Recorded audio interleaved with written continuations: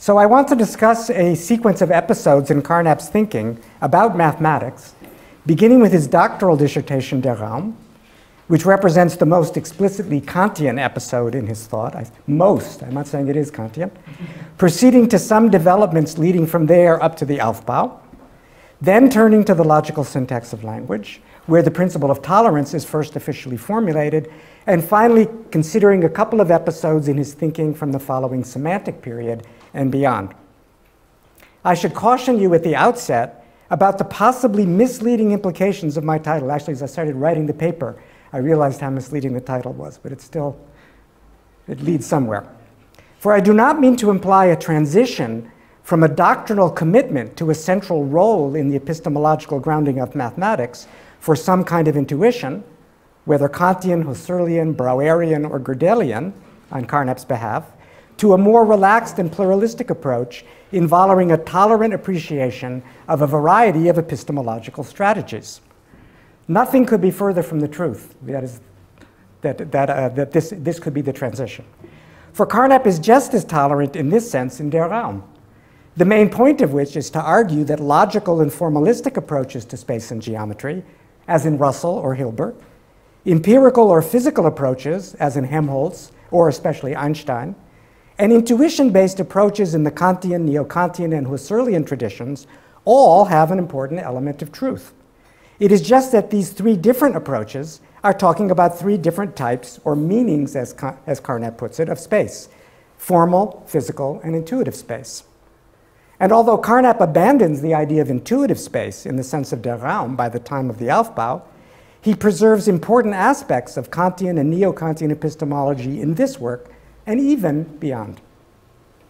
We get a better sense of Carnap's characteristic approach to the philosophy of mathematics and to philosophy more generally if we take seriously his claim that, repeated many times, throughout his career, that he actually held no philosophical positions in the usual sense at all. Here are some that we've already seen. Um, I'll just look at a couple of them. When he was looking at the Logischer Aufbau, he became aware that he used different philosophical languages when talking to different friends, idealist, realist, materialist, and so on. With some, he says, I talked a language which might be labeled nominalistic. With others, again, Frege was language of abstract entities of various types, a language which some contemporary authors call Platonic. This is quotation number one on your handout. I'm going to show you all of them and you can also keep that unreadable handout. By the way, there may be people who came in late and didn't get a handout. If so, maybe people can share them where that is true. But uh, you'll see it on the screen anyway. Uh, second one, when asked, I love this one, when asked which philosophical position I myself held, I was unable to answer. My way of thinking, he says, was neutral with respect to the traditional controversies, e.g., realism versus idealism, nominalism versus Platonism, materialism versus spiritualism, and so on. He didn't want to opt for any philosophical position in any of these ism pairs. Uh, finally, he mentions the, uh, this is all in three successive pages in the autobiography, this neutral attitude toward the various philosophical forms of life, based on the principle that everyone is free to use the language he wants, has remained the same throughout my life. It was formulated as principle of tolerance in logical syntax, that's the official one, and I still hold it today for example, with respect to the contemporary controversy about a nominalist or Platonic language. Okay? Well, this is, I'm going to say, you're going to see this slide a lot, uh, is really misleading in a sense on Carnap's part in that he's suggesting that the principle of tolerance is really just a kind of formalization of what he always thought or always. So I'm saying there is a kind of general philosophical tolerance that was the same, but the principle of tolerance in syntax is something very unique and special. So that's the transition I really uh, have in mind. If we look at some of the debates in the philosophy of mathematics that Carnap participated in, we can see that this kind of claim is quite true. Thus, during the early 1930s, when he was working on logical syntax and engaged in serious discussions with Gödel, it's easy to see that Carnap's approach, especially in comparison with Gödel's, can be described as nominalistic as opposed to Platonic. For Carnap simply takes it for granted that the only scientifically meaningful existence assertions are those concerning physical objects in space and time. The entire set theoretical or type theoretical, right, moves between those, hierarchy of natural numbers, sets of natural numbers, sets of sets of natural numbers, and so on, is simply a more or less convenient device for setting up a mathematically tractable coordinate system for representing whatever spatiotemporal magnitudes, mass, charge, the electromagnetic field, and so on, that there happen to be according to physics. And there is no substantive question concerning whether one or another mathematical representative of such physical entities, coordinates, vectors, tensors, whatever, there's no discussion about whether those really exist or not for Carnap. Nevertheless, when Carnap is, re is responding in empiricism, semantics, and ontology to the explicitly nominalistic philosophical predilections of Goodman, Quine, and Tarski, who he was discussing uh, with at Harvard, Carnap rather defends the system of abstract entities, in this case natural numbers, assumed in standard Peano arithmetic. That is, he defends what he takes to be a Platonic, as opposed to nominalistic form of language in the sense of quotation three. Right? So he moves back and forth depending on who he's talking to.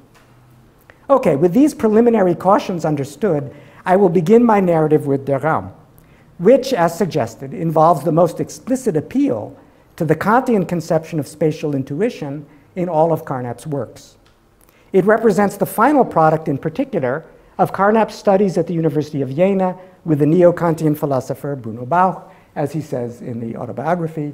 Before he even got to Der Raum, uh, when he read the Critique of Pure Reason, he was impressed, as he says, by Kant's notion that the geometrical structure of space is determined by the form of intuition. And as he says, there are after effects of this notable, to say the least, in, uh, in Der Raum. Okay.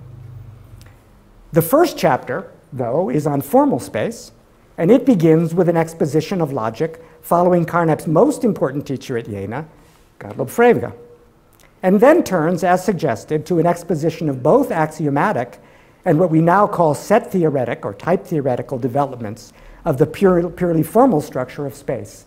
And here, one of the things he clearly has in mind is the theory of relations as developed in, by Russell. But it is in the second chapter on intuitive space that Carnap attempts to modify the originally Kantian, globally Euclidean structure of our form of outer spatial intuition in order to accommodate the use of a non Euclidean geometry of variable curvature in Einstein's general theory of relativity. The centerpiece of this second chapter on intuitive space is Carnap's modification of Hilbert's axiomatization of Euclidean geometry. Carnap takes Hilbert's axioms of incidence and order correctly to describe the necessary a priori structure of any limited local region of space, as immediately presented to us in Husserlian Wesenserschauung. When it comes to the metrical structure, however, Carnap reformulates Hilbert's axioms of congruence and parallels via a kind of limiting procedure, so that specifically Euclidean geometry, following Riemann, is valid only in the very smallest regions, that is, in infinitely small regions or infinitesimal regions, what we would call the tangent space. So there's the local structure where you, he says you have Hilbert's axioms of incidence and order, the infinitesimal structure, which is Euclidean, and the global structure finally can be determined only by what Carnap calls postulates Forderungen, which stipulate how the local and infinitesimal structures fit together within a single, as he puts it, comprehensive spatial structure. Carnap chooses these postulates in such a way, although it's only one choice, as to allow maximal but continuous variability in the curvature from point to point, so as thereby to prepare the way for the accommodation discussed at length in the third chapter, physical space, of Einstein's use of a semi-Riemannian geometry of variable curvature. So these are all the characters, or a number of the characters that are important for him there. Uh, before proceeding to the third chapter, however, I should observe that there is a fundamental mistake with Carnap's modification of Hilbert's axioms. In particular, Hilbert's axioms of incidence are not even locally valid in general in a three-dimensional Riemannian manifold. Consider Hilbert's axiom 1.6. If two points of a line lie in a plane, then every other point of the line lies in the same plane. Right? So this is now this is not a, a curved surface in three-dimensional Euclidean space. It's a plane, a flattest possible surface in three-dimensional Riemannian space. So this plane is introduced locally with respect to this point P. Right? The neighborhood is the neighborhood of P. And these lines here are geodesics that all go through P, and that are all tangent. I didn't draw this because it's hard to draw and it makes things messy. It's tangent to a particular two-dimensional subspace of the tangent space at T, at P. okay, which is Euclidean. So you, this is sometimes called the exponential map from the tangent space into a neighborhood of a Riemannian manifold. Right? So the geodesics are all of these things that go through Q and P. They're the straightest possible, shortest possible lines in the plane so defined. Right? But continue, uh, whoops, consider two points Q and R, uh, which are not P, are not P. And so it doesn't follow that the, the unique geodesic that, con that connects Q and R lies on this surface. Right? In general, it doesn't lie on the surface. Uh, so for example, it could go through underneath here and intersect the surface only at these two points. Right? And you, if you wanted to draw the appropriate surface in which this geodesic lived, you would consider something exponentially generated from one of these other two, but not from P in general. Okay? I don't understand the diagram. Okay. I think all three points are supposed to be on the same line. Two points of a line, line, and every other point of the line. I think all three points should be on the same line. Did I miss something? No, if two points of a line lie on a plane, then every other point of the line, so let this be the line. So in other words, the line is going to be a geodesic connecting Q and R, this dotted thing. I would make it curve, but I couldn't do dots in PowerPoint. The two points first mentioned are not P and Q. They're Q and R. Okay? So there is a geodesic connecting Q and R. In general, it's not on this surface. So, okay, good. Whew. When, when Steve starts saying I made a mathematical mistake. I start sweating, but I feel better. Okay. So uh, there is no alternative in the end but to take all of Hilbert's axioms, that is incidence, order, and congruence, as valid only infinitesimally, as opposed to the topological. This is the projective, local projective structure. Uh, it's not going to be there. It's only going to be local topological structure. Okay. Which is later what he says in a, in a moment. So you can't modify Hilbert's axioms this way. The third chapter of Der Raum on physical space undertakes to treat intuitive space as a Kantian form of intuition in a generalized sense, right? generalized with Einstein in mind. The generalization is mediated by a central distinction Carnap makes between freely chosen or optional Wahlfreier form and necessary Notwendiger form, where only now local topological structure comprehends the facts of perceptual experience within necessary form and thereby presents them uniquely. And that's correct, right? As I said, every, every differential manifold, in fact, that's part of the definition, is locally homeomorphic to some uh, Rn. Okay. Uh, so only local topological structure comprehends the facts of perceptual experience uniquely and thereby presents them uh, with necessary form and therefore uniquely independent, that is, of the freely chosen metrical stipulations that are then laid down by convention for Carnap. Right. In this way, the immediate deliverances of Husserlian Wesenserschauung provide our perceptual experience with the structure of a form of intuition in something like the original Kantian sense, but the intuitive space in question is compatible with all possible Riemannian metrical structures. And this, this is all fine.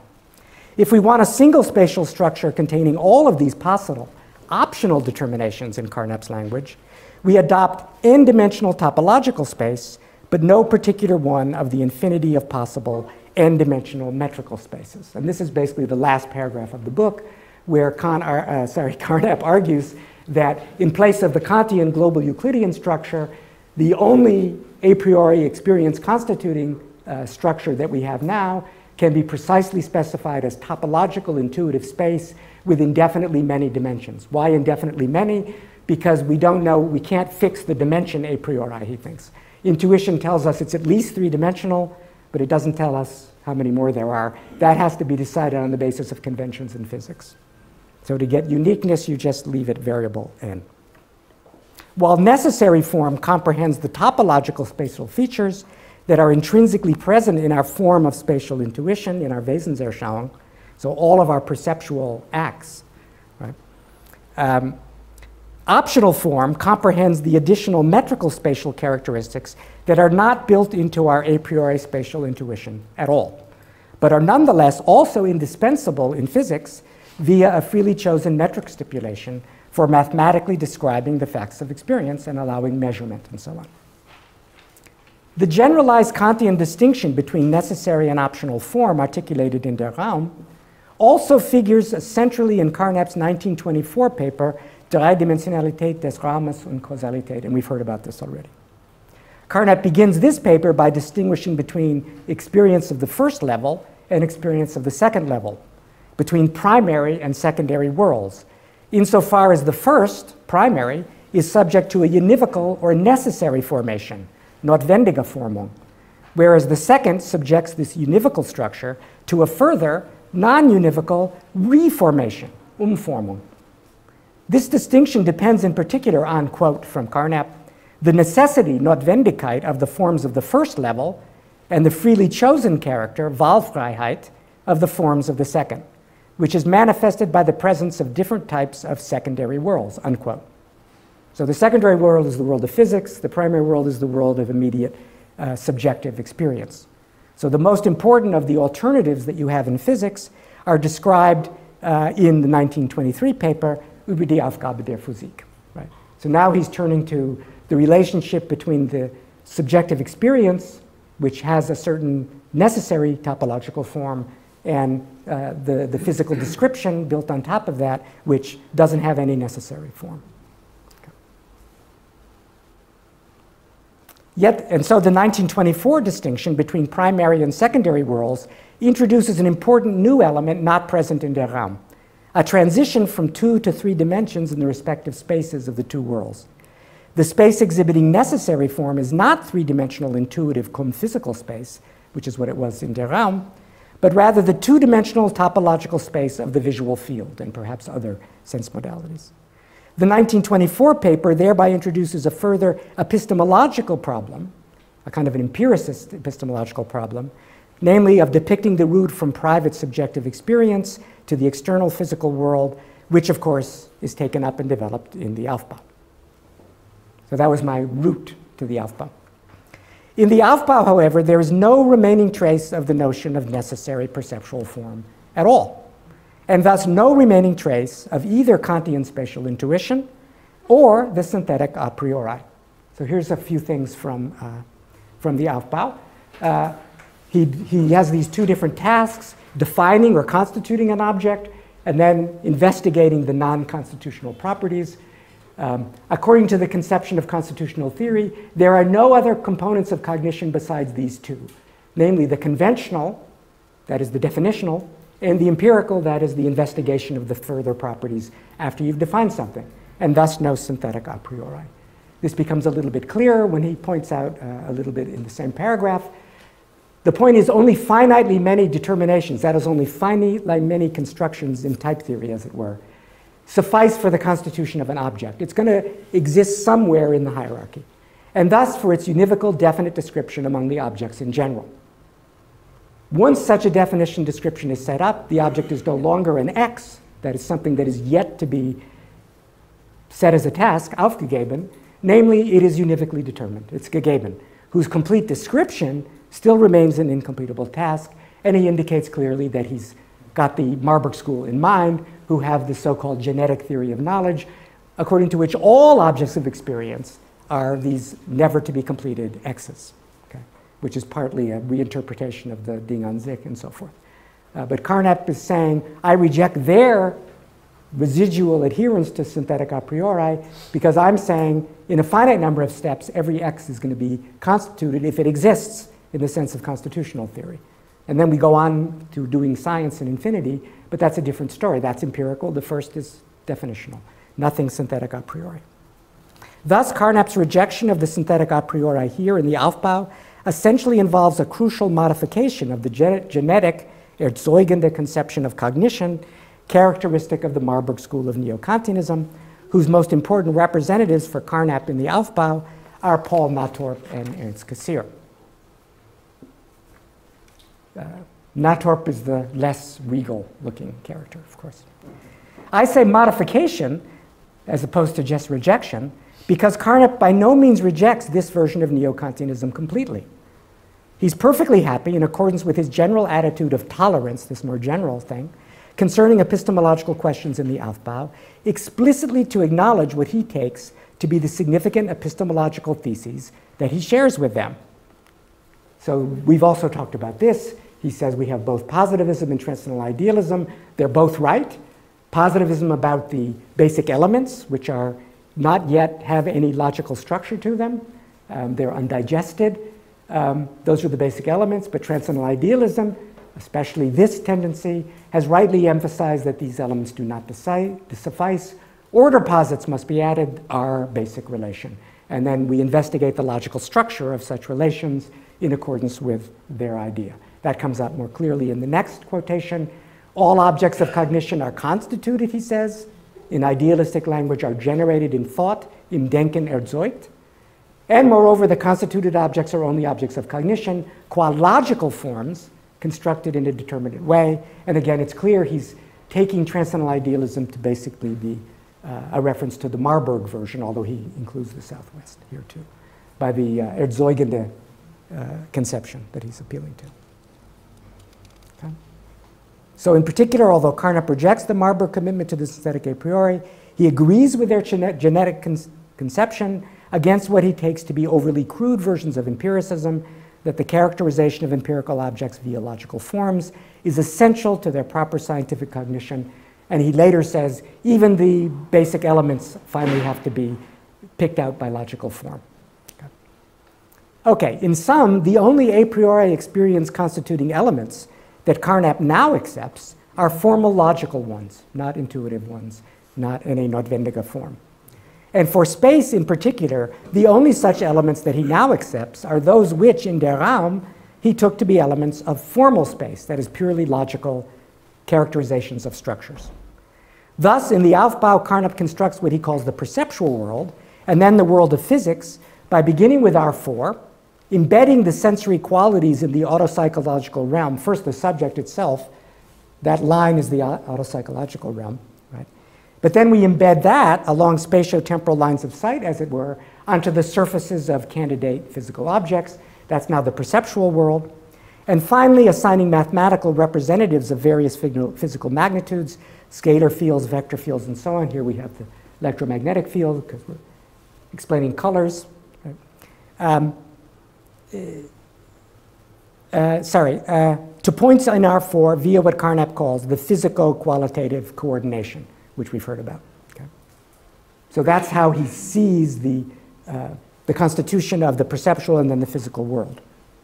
Moreover, and in accordance in this respect with the conception of Der Raum, only the topological structure of R4 counts as experience constituting, but this is R4 as a formal space, in Carnap's construction.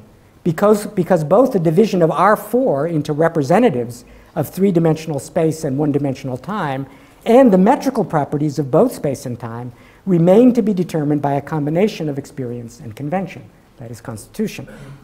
Nevertheless, while, while the topological structure of R4 is just taken for granted. Nevertheless, even though R4 is purely formal in this construction, they, what, what it means for Carnap is that space and time are thereby represented by purely formal, purely analytical mathematical entities in terms of a spatiotemporal coordinate system. But he does not identify space and time with those formal entities. On the contrary, space and time themselves are const constitutionally introduced as essentially perceptual and in this sense intuitive. That is, space and time as opposed to R4, are, uh, you only get when you embed into R4 qualities in the autopsychological realm onto sensory surfaces. That's space. R4 is not space, it's just the formal framework of space. Right. And then the physical space, which is, as it were, purely formal, it's not qualities, it's just numbers, but still it's piggybacking on the back of perceptual space. That's how it's introduced. For Carnap in the Aufbau, there therefore remains a crucial asymmetry between his conception of arithmetic and analysis on the one side and his conception of geometry, both spatial and spatiotemporal, on the other. And this asymmetry, as we shall see, persists throughout his career. So I'll come back to this point. Okay, so so much for the uh, pre-Aufbau and Aufbau half. The rest, uh, which will be slightly longer, will be on the post. Carnap's serious engagement with what we now call the philosophy of mathematics and in particular what we now call the foundations of mathematics, begins in the next phase of his career, culminating in the publication of Logical Syntax in 1934.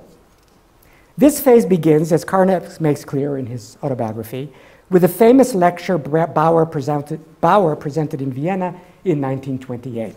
Right?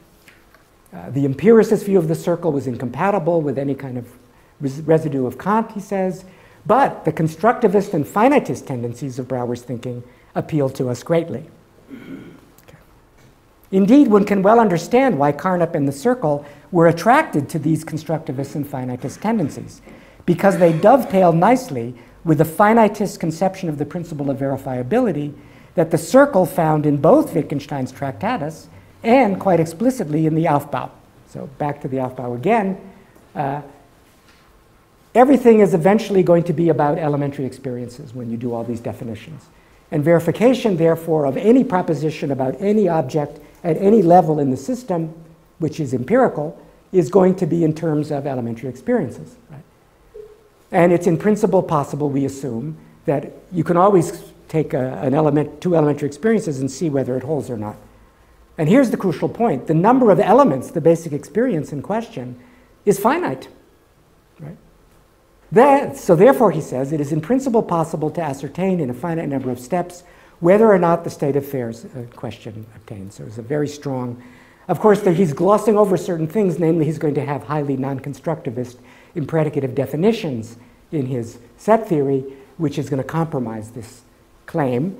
Uh, but that's something he only starts talking about a couple years later. But they associated reasonably enough uh, Brouwer with this kind of verificationist, finitist verificationism. Despite these attractive features for the circle of Brouwer's intuitionism, however, neither the circle nor especially Carnap could not long rest content with Brouwer. The most fundamental problem, especially in Carnap's case, was that to go along with Brouwer was to become entangled with the crisis in the foundations of mathematics that embroiled some of the leading logicians and mathematicians of the time. The immediate stimulus for this crisis were worries about the consistency of classical mathematics in the wake of the logical and set theoretical paradoxes that gave rise to three mutually opposing schools of thought. Formalism, represented by Hilbert and Bernays, attempted to save classical mathematics and logic by developing a formal consistency proof using only limited finitistic methods. Intuition, by contrast, represented by Brouwer and Heyting, mounted a revolutionary challenge to classical mathematics and logic based on a rejection of the law of excluded middle and other associated laws applied to quantification over infinite domains, even the natural numbers. And logicism finally attempted to preserve as much as possible of the original Frege Russell conception of logic and mathematics in the context of the more radical proposals of both the intuitionists and the formalists. So, who's the representative of logicism at this point? Well, it was Carnap himself who represented the, the logicist position. I hope you can read this. Uh, in this famous uh, symposium held in uh, September 1930 in Königsberg, and there are the three papers which are in Putnam and Benacerraf, and at least when I was a, a young person, uh, when you started studying philosophy of mathematics, this is you started with these three papers, although usually you only read like the first few pages of each of these three papers. So there's Carnap, there's Heyting, and there's John von Neumann representing the formal side. It was Carnap himself who represented the logical position at a defining symposium that he himself organized under the auspices of the International Congress of Physicists and Mathematicians in Königsberg in September 1930 where the other two viewpoints, as I say, were represented by Heyting and von Neumann. Even here, when you get to the end of Carnap's, you see that he clearly indicates that logicism, in his sense, needs to incorporate the valid insights of formalism and intuitionism. It's not exactly Frege and Russell logic, let alone Wittgenstein's logic. As is well known, the following discussion of the foundations of mathematics, after a piece by Neugebauer on Greek mathematics, there's the famous discussion that ends and the very end of that discussion is Gödel's contribution. And at the very end of that is where Gödel first announces to the world his incompleteness results. And I think it's pretty clear that Carnap had asked him to do that. Right. Why do I say that? Um, well, um, in his intellectual autobiography, Carnap reports that, without mentioning the symposium at this point, immediately before this symposium, Gödel had informed him, Carnap, of his epoch making results. He explained to me his method of arithmetization. He told me he could prove that any formal system of arithmetic is incomplete and incompletable. This is a turning point in the development of the foundations of mathematics, certainly true. And then, after thinking about these problems in metamathematics that Gödel is a culmination of for several years, the whole theory of language structure and its possible applications in philosophy came to meet Carnap like a vision, the famous sleepless night in January 1939 when he was ill, right?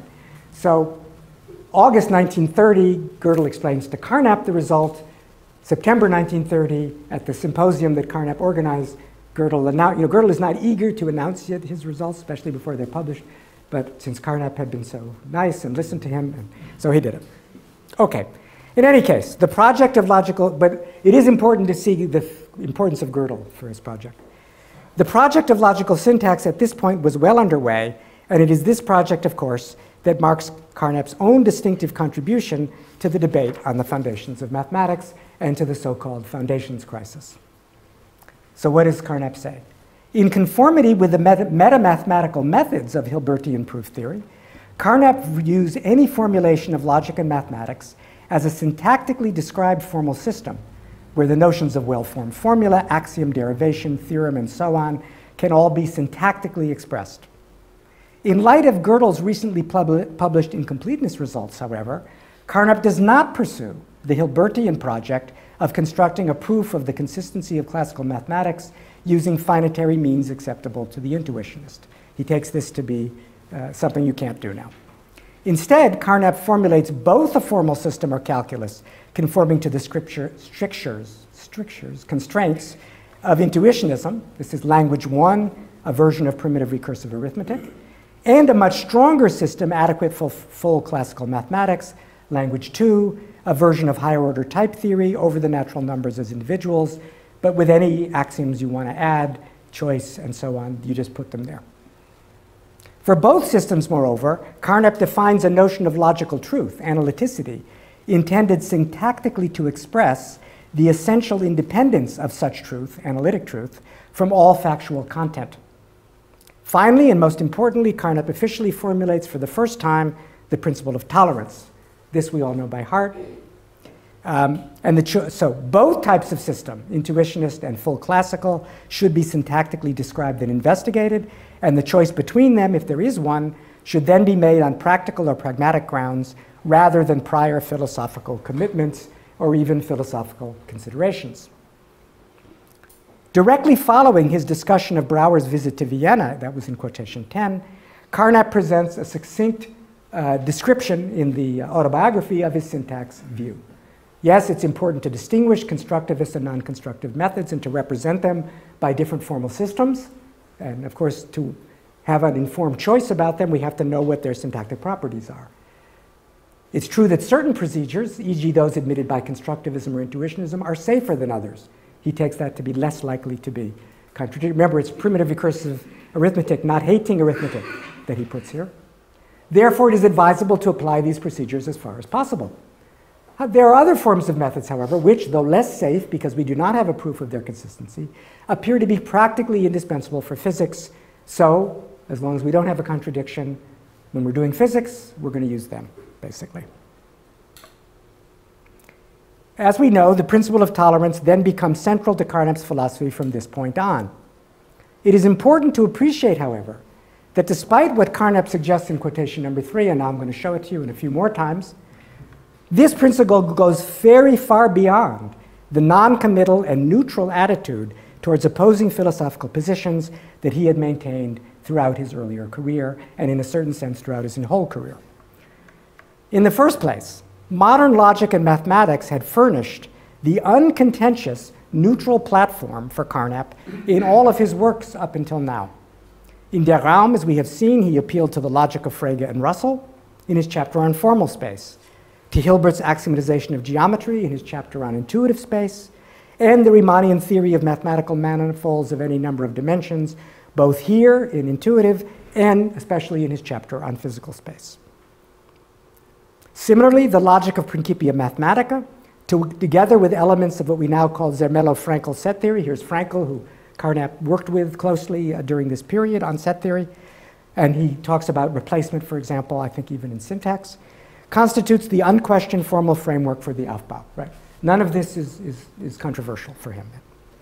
Indeed, Carnap's confidence in Principia Mathematica at this time is so strong that he confounds contemporary readers of the preface to the first edition by appealing to the contradictions that had precipitated the foundations crisis in order to praise modern Frege Russell logic at the expense of the traditional logic, the alte Logik. Right? The old traditional logic was an utter failure. It led to contradictions. This was the strongest motive for the development of the new logic. It avoided the contradictions, but aside from this merely negative service, it has already given proof of its positive capabilities, though only by examining and reestablishing, that is, after the contradictions, the foundations of mathematics. So there's a rather disingenuous rhetoric here, to say the least. Uh, the, the, last sentence somehow points toward the true situation. I mean, only modern logic leads to the, and modern mathematics leads to these contradictions, right? Not the syllogism. Okay. Now, however, it is precisely the modern logic developed by Frege and Russell, including Principia Mathematica, together with the foundations it had attempted to provide for modern classical mathematics, that is the problem, that is the issue. So it is far from clear what possible neutral framework for pursuing scientific philosophy and avoid hopeless philosophical disputes can still be available. I shall return to this question of neutrality soon. But I meanwhile want to note a further radically new element in Carnap's syntax approach to the foundations of mathematics and to his notion of analyticity. The Frege-Russell tradition had operated with revision of the original Kantian distinction between analytic and synthetic propositions that would be appropriate to the new logic. While Kant had appealed to both subject predicate containment and being in accordance with the law of non contradiction, uh, together with definitions, as criteria for analyticity, only a modification of the second criterion, be, being in accordance with all the laws of the new logic, together with definitions, was appropriate now. Moreover, the laws of the new logic in the Frege-Russell tradition were supposed to be distinguished by a special kind of maximal generality involving quantification over everything, and we heard something about this from Clinton, in comparison with the laws of the special sciences. If we could show that all of classical mathematics is derivable from such maximally general laws of logic, together with definitions, we would therefore have accomplished something quite substantial. For Carnap, however, the question of reducing mathematics to logic in some antecedently understood sense is now in syntax rather abruptly dismissed. So whether we use only logical signs in the narrower sense, as Frege and Russell do, or we also have mathematical primitives, as actually Carnap does, by putting arithmetical primitives and indeed quantification over higher types everywhere. Right? It's not a question of philosophical difference, but only of technical expedience. Incidentally, the question is not even accurately formulated. We have in general syntax made a formal distinction between logical and descriptive signs. But a precise classification of the logical signs in our sense, which includes math and logic, into logical signs in the narrower sense, what Frege and Russell were looking, has so far not been given by anyone. Right? So there's no issue at all of reducing to logic in that other sense. Finally, as Carnap suggests in the last quotation, the key to his new conception of analyticity is the distinction between logical and descriptive signs. The basic idea is that analytic, that is, L-valid propositions, are those that are valid independently of any descriptive signs that may appear in them, invariant under permutations of them, if you like, and are thereby independent in particular of all empirical facts about the world, which are what the descriptive signs describe.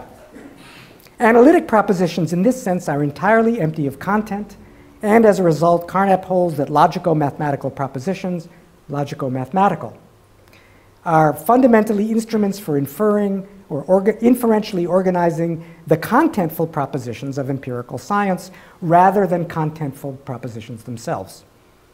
Carnap describes this conception at the very beginning of his career as, quote, being derived essentially from Frege, again, the autobiography. It is the task of logic and mathematics to supply forms and concepts for everything else. Um, the nature of logic and mathematics can be clearly understood only if close attention is given to their application in non-logical fields, especially in empirical science. And what I'm suggesting is it's in by way of contrast with empirical science. And by the way, Carnap quickly makes it clear in his autobiography that this notion of empty of content owes a lot to the Tractatus as well as Frege, so that's important to notice. Once again, however, Carnap's view in syntax radically diverges from the tradition of Frege and Russell.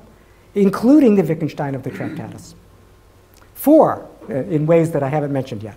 For not only is the formal characterization of the distinction between logical and descriptive signs, to which Carnap refers in section 17, language relative and therefore language variable, so it doesn't privilege classical mathematics in any way, but the characterization itself is subject to tef- technical difficulties. And Carnap, uh, Carnap thereafter quickly abandons it in his semantic period, where he is basically content, largely, to present the distinction in the case of any particular given language, L, simply by enumerating the logical signs.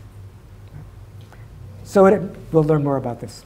So it appears entirely unclear, once again, what is the force of Carnap's new conception of logical mathematical truth. It looks like it's totally trivialized. This is one of Quine's arguments, right? It's just a list. You haven't told us anything. The key to properly understanding Carnap's new emphasis on the importance of the analytic synthetic distinction in logical syntax is to appreciate the extent to which it has nothing in common with any foundational program, whether logicist, formalist, or intuitionist. Rather, according to precisely the principle of tolerance, the point of viewing the statements of logic and mathematics as analytic lies solely in our freedom to choose which system of logic and mathematics best serves the formal deductive needs of empirical science, not to explain what special kind of truth this is. Classical mathematics, for example, is much easier to apply, as we saw, especially in physics than intuitionist mathematics, while the latter, being logically weaker for Carnap, is less likely to result in contradiction. And here, this is from the semantic period. I'll show you the, the section in a, sec- in a second he's regarding mathematics now not as purely syntactically, right? If it's a pure calculus, there's no issue at all?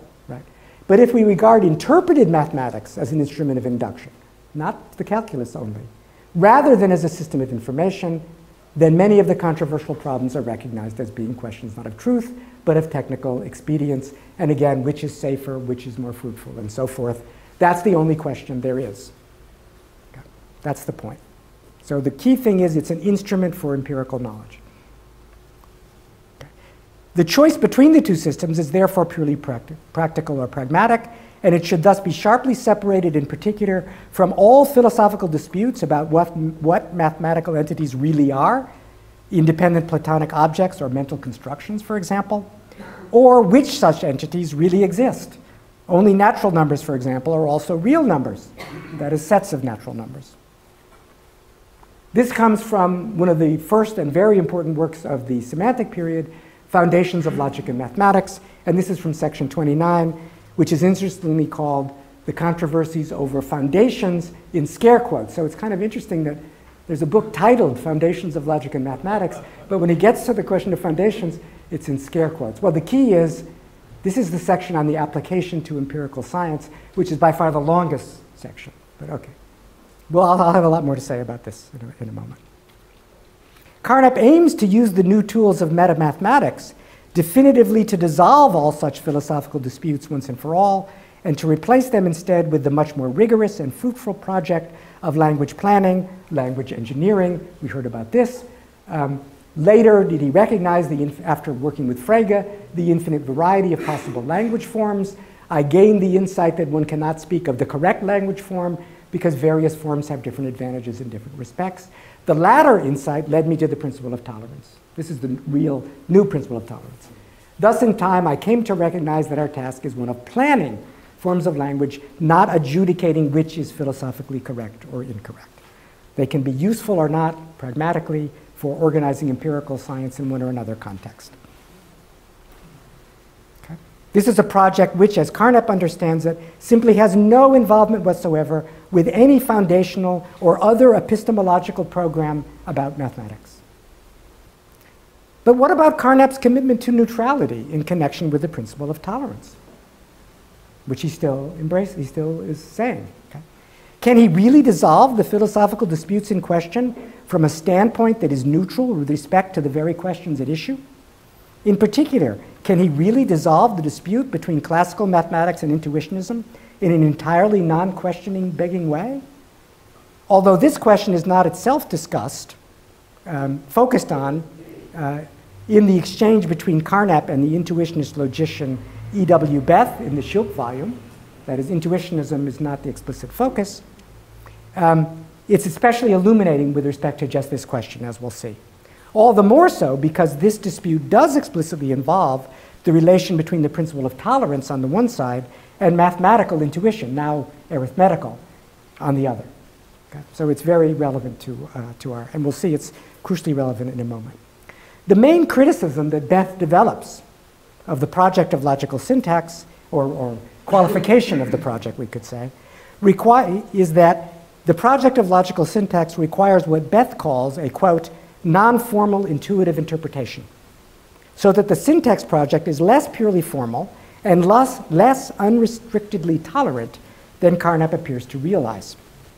The crux of Beth's argument is that syntax itself is a kind of arithmetic, as becomes especially clear in a Gödel numbering, for example. And viewed as an arithmetic, a Carnapian syntax language or meta language may then have non standard models containing non finite numbers, non finite sequences of expressions, extending beyond the standard numbers 0, 1, 2, dot, dot, dot, for finitely many times. So that in the case of syntax, there, be, there may be more than a finite number of numerals in a non standard model, or derivations may have more than a finite number of steps. Clearly, not what you want. Someone who understood Carnap's syntax language in accordance with such a non-standard model, model would systematically misunderstand Carnap's main inductive definitions, excuse me, and results. And so, Beth argues, Carnap must implicitly be assuming that the syntax language is understood in accordance with the standard model. Further, Beth claims we are thereby faced with what Beth calls a, quote, limitation regarding the principle of tolerance, unquote. For although someone who understands Carnap's syntax language in the standard way, such as presumably Carnap, can understand someone who uses a non standard interpretation, the perverse practitioner of syntax in accordance with a non standard interpretation, whom Beth calls Carnap star, this person would never be able to understand the standard one, for this practitioner lacks precisely the standard understanding of the concept of finiteness. That's the whole point. Carnap, in his reply to Beth, entirely accepts Beth's technical point. And accordingly, he entirely accepts Beth's claim that, quote, we find in logical syntax also concepts which, this is now Carnap, though defined in a purely formal way, are clearly inspired by a non formal interpretation, unquote. Carnap suggests that he understands the point in terms of his notion of an interpreted formal language or calculus in the sense of the semantical works that he developed after logical syntax. That's what we're talking about in interpreted language. Indeed, in Foundations of Logic and Mathematics, Carnap applies this notion to describe what he calls the customary interpretation of Peano arithmetic, where the calculus being interpreted is based on a term b, a one place, a one functor, which is supposed to represent the successor function, and the predicate n. And then he describes the customary interpretation of the Peano system can be formulated this way. B designates the cardinal number 0. If dot, dot, dot designates a cardinal number, then functor successor designates the next one, i.e. n plus 1, and designates the class of finite cardinal numbers. Hence, in this interpretation, the system concerns the progression of finite cardinal numbers ordered according to magnitude. Okay. Carnap is here appealing, this is section 21, and he's here appealing, this is the description of the elementary mathematical calculus and its interpretation. He's appealing back to uh, higher logical calculus, higher order logic, where he's done a kind of standard construction of Frege Russell cardinals already.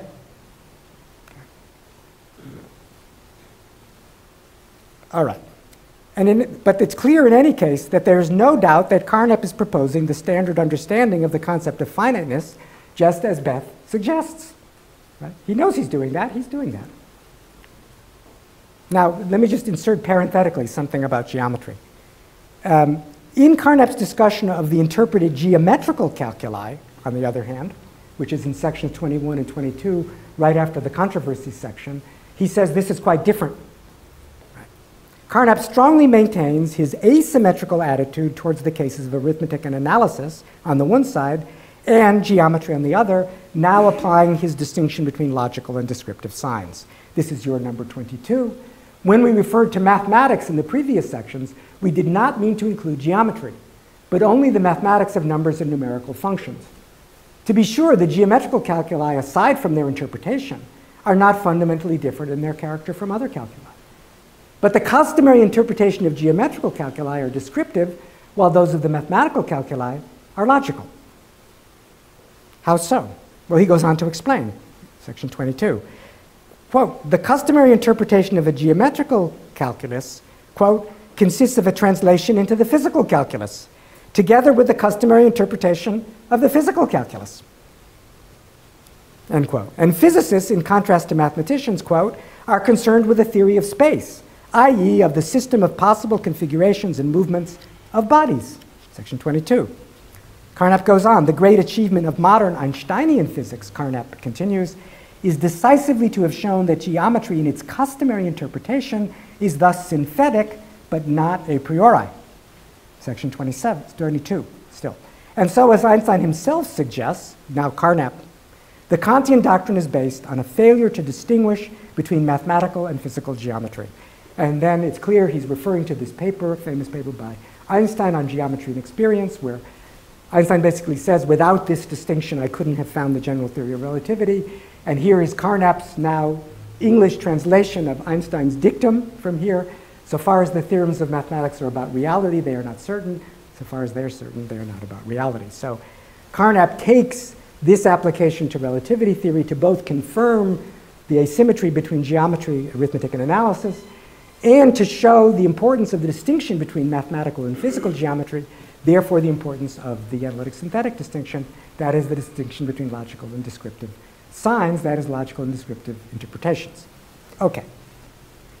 Returning now to the reply to Beth in the Schilpp volume, which is about arithmetic and analysis, not geometry, Carnap applies his semantical conception of an interpreted language to the meta languages used in both syntax and semantics. I always presupposed, he says, both in syntax and semantics, that a fixed interpretation of the meta language, ML, which is shared by all participants, is given. Since ML uses English words, it is assumed, and he's writing everything in English now, of course, it is assumed that these words are understood in their ordinary senses. What's the problem?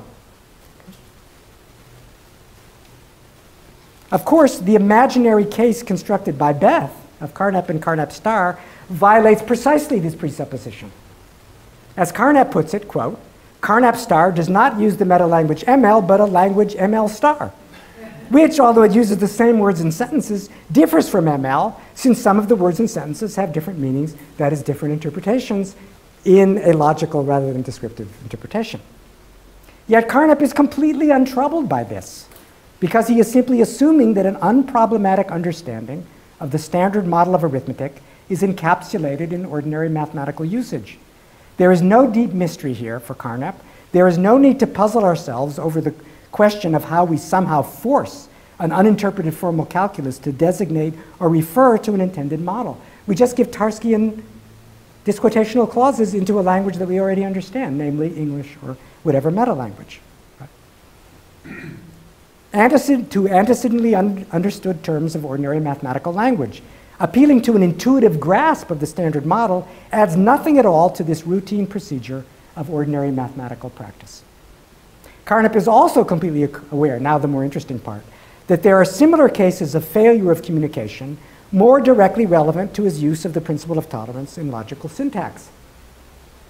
Again, you have to have a common language if you're going to discuss an agreement, but it may be the case that one of the two disputants can express in his own language certain convictions which he cannot translate into the common language, maybe into primitive recursive arithmetic. For example, a classical mathematician is in this situation with respect to an intuitionist, or to a still higher degree with respect to a nominalist that won't even accept that there's an infinite number of numbers and doesn't accept the axioms of successor. Just as Carnap cannot communicate the standard interpretation of the concept of finiteness to Carnap's star, the intuitionist cannot understand the, the philosophically convinced intuitionist cannot understand the classical interpretation of unbounded existential quantification over the natural numbers. Does this, as Beth suggests, then imply a restriction or limitation of the principle of tolerance? It may at first appear that it does. For Carnap's application of the principle of tolerance to this case, again, that's this thing, poses the question in a syntactic or semantic meta language whether to adopt the classical or intuitionist logical rules for a particular object language, for example, the language of physics. We weigh the relative safety from the possibility of contradiction of the intuitionist rules against the greater fruitfulness and convenience in physics of the classical rules, and then we make our choice pragmatically. But if the intuitionists cannot understand the rules of the classical framework, which are done in a kind of stronger meta language, and cannot, in particular, well, I just said that, understand the even stronger classical meta language in which we formulate the rules, the definition of analyticity, which is a Tarskian truth definition for classical mathematics, then it would appear that our entire procedure simply begs the question against the intuitionist. It in, no, in no way do we have a neutral, shared meta perspective for evaluating the two positions on an equal footing. I'm almost done. This argument against Carnap is certainly tempting, and I confess that I have myself succumbed to the temptation more than once. I now think, however, that it misses the essence of Carnap's conception, as it emerges particularly clearly in the reply to Beth. Just as in the case of our understanding of the standard model of arithmetic, Carnap presupposes that classical mathematics, as it is standardly practiced, is well understood. Indeed, classical mathematics for Carnap is a model or paradigm of clear and exact scientific understanding. And there is no way in particular to raise doubts about our understanding of this framework on the basis of independent, purely philosophical commitments.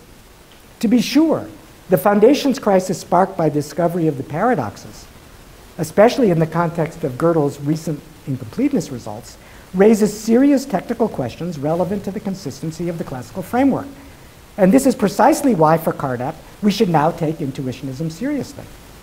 To take it seriously, however, means that we entertain the proposal, starting from within the classical framework, that we should weaken its rules to make inconsistency less likely.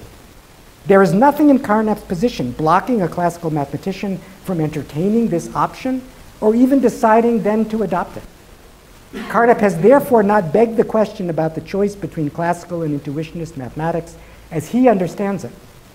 That a philosophically committed intuitionist mathematician cannot understand the choice as Carnap understands it is irrelevant, for the situation in which we in fact find ourselves is, has arisen within the paradigmatically well understood practice of classical mathematics itself, right, which may have technical issues that can be raised, but no philosophical issues. Okay, one more paragraph. In 1936, at the very beginning of his semantical period, Carnap published Von der Erkenntnistheorie zur Wissenschaftslogik, a paper that Alan Richardson first, I think, among the Carnap world, uh, emphasized the importance of, from epistemology to the logic of science. By the way, this is at the very first, whoops, the very first, uh, con the, this conference where this appeared and Carnap's semantic phase began was also where uh, Tarski first publicly um, uh, gave, uh, gave a sketch of his theory of truth, which Carnap enthusiastically embraced, although it was quite controversial among the, in the Vienna circle. So the, the semantic period is really uh, coincided with that. Okay. The point of this paper is to argue that all traditional epistemological projects, including Carnap's own earlier project in the Aufbau, must now be renounced as, quote, unklare Mischung aus psychologischen und logischen Bestandteilen. Alan this song. Das gilt auch von den Arbeiten unseres Kreises, meine eigenen früheren Arbeiten nicht ausgenommen. Clearly the Aufbau is referred to here. Carnap at this point is decisively and explicitly breaking with the entire epistemological tradition. Wissenschaftslogik in particular is in no way concerned with either explaining or justifying our scientific knowledge by exhibiting its ultimate basis, whatever the basis might be. It is rather concerned instead with crafting a new role for philosophy vis-a-vis the empirical sciences that will maximally contribute to scientific progress by contributing to the development and clarification of mathematical in inferential frameworks for these sciences, the constructive part, while at the same time diffusing all the traditional metaphysical disputes and obscurities that have constituted, and according to Carnap, continue to constitute, serious obstacles to progress in both philosophy, that is scientific philosophy, and the sciences. Carnap's philosophy of mathematics, in the end, is thus an anti-philosophical philosophy of mathematics, or perhaps better, a new mathematical philosophy. which, in the famous words from logical syntax, aims at nothing more nor than less than to take the place of the inextricable unentwirrbaren Problemgemenges, das man Philosophy nennt, tritt der Wissenschaftslogik an. Yet it is in precisely the way in which the idea of Wissenschaftslogik responds to and emerges out of a variety of serious foundational challenges faced by early 20th century thought, which, as we have seen, include some of the deepest intellectual problems surrounding modern philosophy, that is early 20th century philosophy, logic, mathematics, and mathematical physics. It's in precisely this that Carnap's project acquires its undoubted philosophical significance and force.